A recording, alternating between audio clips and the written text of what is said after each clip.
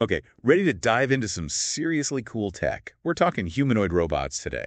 But like, not the dancing kind. The kind that's ready to get to work. Yeah, it's pretty mind-blowing. The whole field is shifting, you know, moving away from robots built just for show. Now we're talking robots designed for real-world tasks. And that brings us to Atlas. Exactly. Atlas is like the poster child for this new era of robots. This is the robot we're focusing on for Yeah. today's deep dive. Yeah, I've seen some videos and it's, well, it's amazing. Atlas can work autonomously. right. No joystick, no remote control. Like, it's just pure robot intelligence. Exactly. Imagine a factory, right? Parts everywhere. Atlas can navigate that chaos, pick out the parts it needs, and move them to the right spot, all on its own. It's wild. There's this video, right, where Atlas is moving engine parts between bins. And what gets me is how it adjusts to problems. If a part is in a weird spot, Atlas actually, like, reevaluates, moves, and tries again. It's using a combination of things machine learning, sensors, and a specialized grasping policy. That's what they're calling it. So it's not just about seeing the part, it's about understanding how to, you know, interact with it. So it's not just pre-programmed. It's figuring things out as it goes. Exactly. That's a big deal. There are other humanoid robots out there, sure, but a lot of them still rely on humans behind the scenes, you know, controlling them. Atlas. Atlas is truly autonomous. That changes everything, doesn't it? Think about car manufacturing. Atlas could work right next to humans doing the dangerous jobs, the repetitive stuff, you know, the tasks that require insane precision. And that brings us to a big difference between Atlas and another robot you've probably heard of, Tesla's Optimus. They have totally different design philosophies. Okay, yeah, I was going to ask about that. What's the difference? Well, Atlas is built tough, like seriously tough. Think a sturdy frame, three fingered hands, all about moving and manipulating heavy parts. It's efficient and gets the job done in a practical setting. So Atlas is all about pure functionality. Exactly. Whereas Optimus, with its five-fingered hands and more human-like look, well, it's aiming for versatility, you know, handling lots of different tasks, maybe even domestic stuff. It's trying to like replicate human movement and interaction.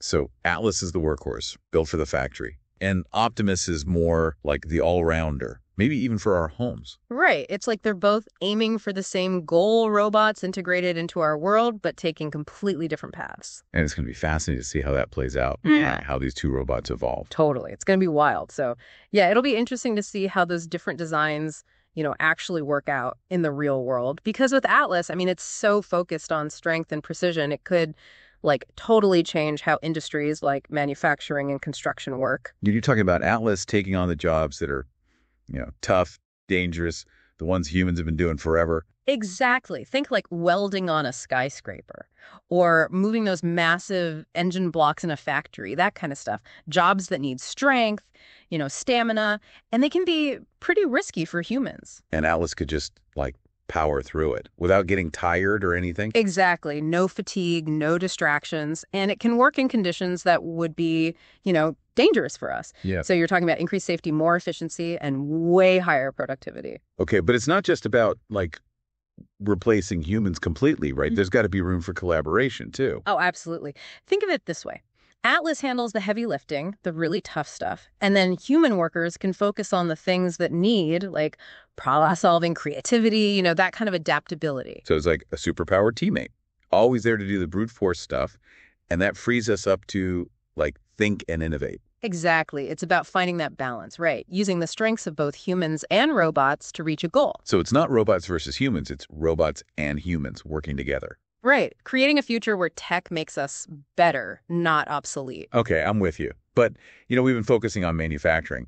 But what about other areas? Could Atlas work in like healthcare Mm. or even like disaster relief? The possibilities are huge. Think about surgery. Atlas assisting, you know, providing steady support, handling delicate instruments with crazy precision. Wow. So it's like having another set of like super steady hands in the operating room. Right.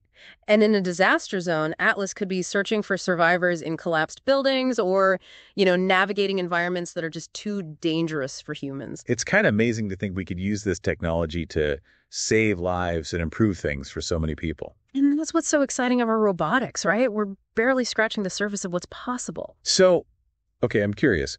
What are the like the technical things that let Atlas do all this? We've touched on machine learning and sensors, but what else is going on? Well, one of the most impressive things is the hydraulic system. It's like the robot's muscles, you know, Hmm. provides the power and precision for all its movements. Hydraulics, like the stuff you see in those big construction machines. Exactly. It's pumps, valves, actuators, all using fluid pressure to create force.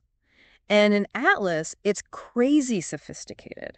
That's how it can move so smoothly, so controlled, even with heavy loads. So it's not just brute strength, it's controlled power. Exactly. And that control comes from a whole network of sensors and algorithms. They're constantly monitoring the robot's position, its balance, how much force is being used. It's crazy complex. So there's a lot of like processing power going on behind the scenes. Oh, yeah. Tons. Atlas is running some seriously advanced software. It's processing data from all those sensors, making calculations, adjusting the hydraulics, all in real time Yeah. to make sure the movements are smooth, stable, and precise. So it's like Atlas has like a built-in sense of balance and coordination. Yeah, that's a great way to put it. It's a testament to all the research and development that's gone into making Atlas what it is. Okay, so we've talked about the brawn, the hydraulics, the sensors. What about the brains? How does Atlas think? How does it make decisions? Well, that's where the machine learning comes in. They train Atlas using huge amounts of data, right? So it can learn to recognize patterns, predict what's going to happen, and then make decisions based on its surroundings and whatever task it's doing. So again, it's not just following instructions, it's actually learning and adapting. Exactly. And the learning never stops. You know, as Atlas runs into new situations, new problems, it's gathering more and more data, refining its algorithms, getting even more capable. It's amazing that we can build machines that can learn and get better on their own. It's pretty wild, right? It really shows you what humans can do. But of course, with any powerful tech, there are going to be some concerns. right. And I bet one of the biggest ones is like, what about jobs? If robots like Atlas can do so much, are they going to replace human workers? yeah, that's a valid concern for sure, especially in fields like manufacturing, where lots of jobs involve those repetitive tasks that, you know, robots could easily do. I mean, yeah, it makes sense to be worried about that. It's complicated, you know, there are no easy answers. But it's important to remember that technology has always changed the job market. Think about the Industrial Revolution, right? It got rid of tons of farm jobs, but then created new ones in factories. It's a cycle. So it's not like a guaranteed doomsday scenario. It's more about, you know, adapting to change, right? Exactly. The key is education, training, you know, making sure people have the skills for the jobs that are going to be around in the future. So instead of being scared of robots, we should be figuring out how to work with them, use their strengths while we, you know, develop our own human skills. Exactly. It's all about embracing the possibilities, but also being smart about the challenges and facing them head on. This whole deep dive into Atlas has been, well, eye opening to say the least. We've gone from like being amazed by what it can do to thinking about what it all means, you know, for us. Yeah, and I think it really highlights something important. The future of robots, it's not set in stone. Mm. We're the ones shaping it with our choices, our investments, even the conversations we're having right now. So it's not just about what robots can do, but what we want them to do. Exactly. We have a chance to shape this future in a way that, you know, reflects our values, our hopes. And that's a big responsibility, you know. Okay, I think it's time to like wrap up this part of the deep dive. We've covered a lot from like all the amazing things Atlas can do to, you know, how it could affect jobs and everything. Yeah, in the last part we should dive into some of the, you know, ethical questions around robots like Atlas and, and really think about what the future might hold, you know, for these advanced machines. So stick with us. Okay, so we've spent the last two parts, you know, getting deep into Atlas, all the cool stuff it can do, how it could change things.